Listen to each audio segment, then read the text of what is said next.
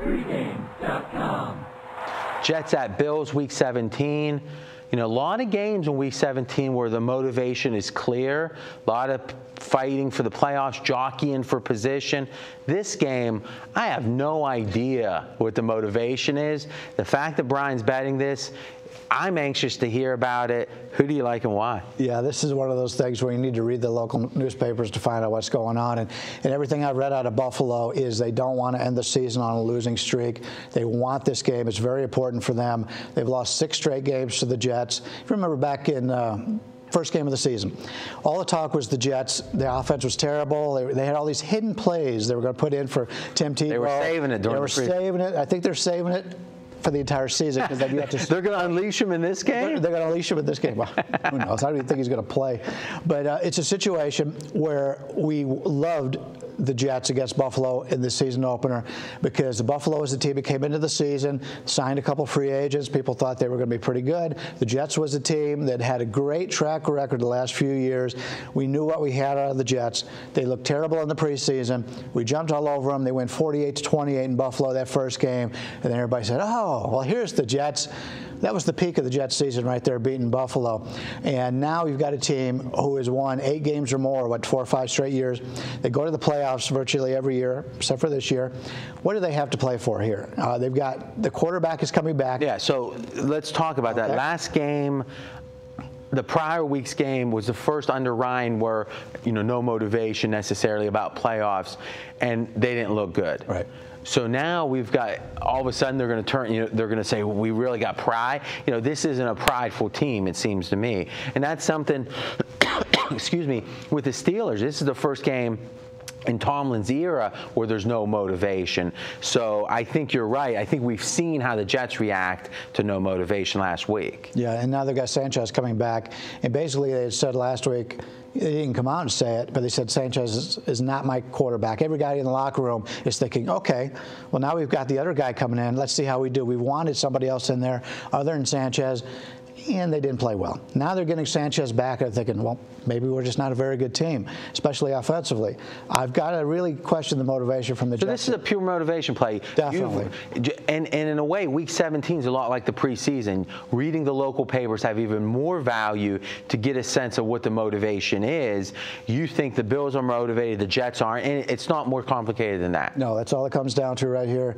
Um, the Jets came into the season with high expectations. They've been to the playoffs before. They thought they were going back again. They win that first game 48 to 28 over these Buffalo Bills, beating them six straight times.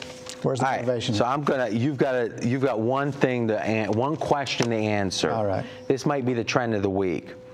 Bills the week after playing the Dolphins.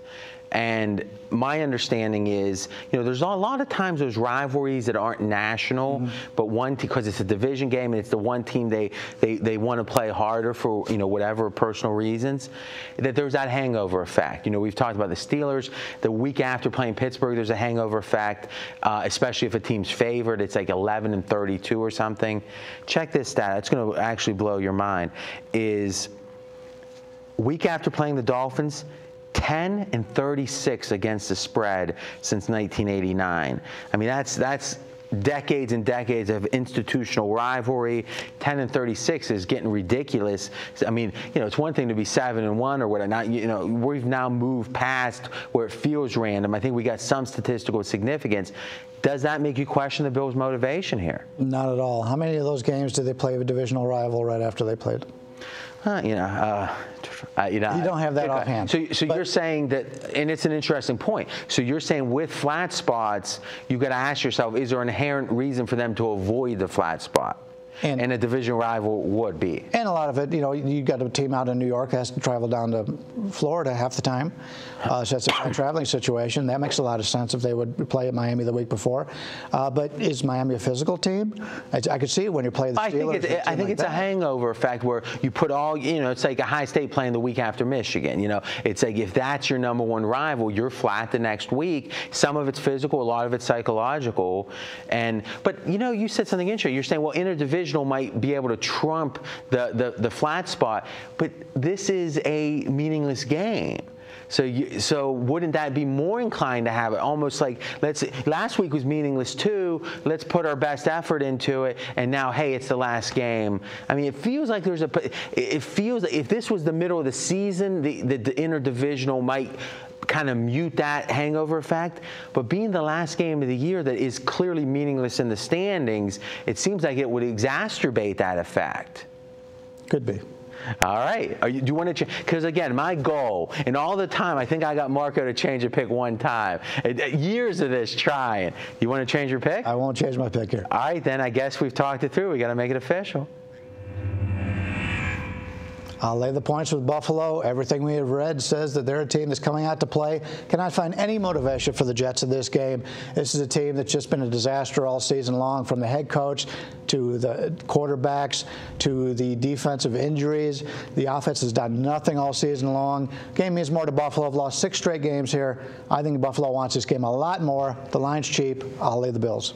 I should be clear. I don't like the Jets. I'm just saying I think there's some motivational question with Buffalo. Maybe the over when two teams aren't trying real hard, especially with Sanchez. If he throws a couple touchdowns, they might want to ro- kind of roll that ball down the down the street. It, it, makes a lot of sense. I like to play teams who are out of the playoffs on the over as the season's gone on. But if you've been playing the Jets over, and I have a couple well, times. That, but see, that shows you. Here you are. It's a great point. Uh, yeah. You're a professional batter that understands 52.38 is what you need to overcome. But even when you lose that third or fourth time on a team, either the team or a certain over under with the team, right. you're you're snake bitten, and you're as one of the more dispassionate professional batters I know. You do grind it out. It goes to show you why there's value on those teams like the Eagles. It's only that that's cashed less than four times this year. The only team no one wants to bet them because they've been burned. Yeah, that's when I want to. That's a great point. That's why you're here. That's when I want to step in. There you go. All right, guys, that's it for NFL. But we've got college coming up.